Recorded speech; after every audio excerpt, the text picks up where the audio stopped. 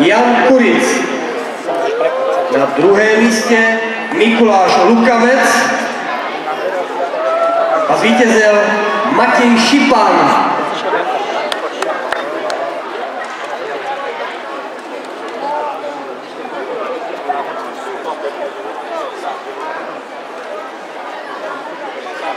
Trenéři určitě zaspomínají, kdy naposledy měli tolik kilogramů a obsazovali tyto váhové kategorie, ale si to bude hodně, hodně, hodně dávno.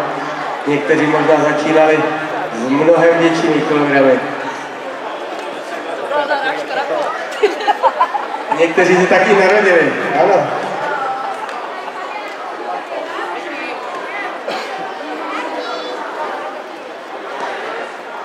No, je to hora a masa svalů.